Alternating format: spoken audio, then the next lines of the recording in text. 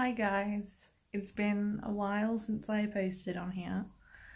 Um, but today is World Mental Health Day, so I thought it was necessary for me to post, tell you that I'm doing okay, and that it's okay not to be okay. Because that's the whole point of this channel is to make sure people know that what they're feeling isn't wrong, what they're feeling isn't a bad thing that should be hidden away because it's important to talk about how you're feeling and it's important to acknowledge the fact that sometimes you're not going to be okay. So that's me telling you, whoa, nearly dropped my phone, telling you that it's okay. Whatever you're feeling is okay.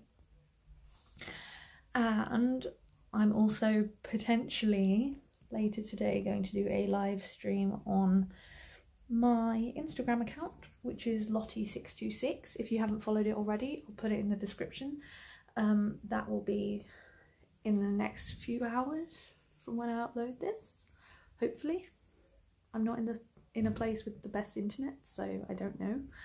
Um, but yeah, so go and follow my Instagram and I might see you there later.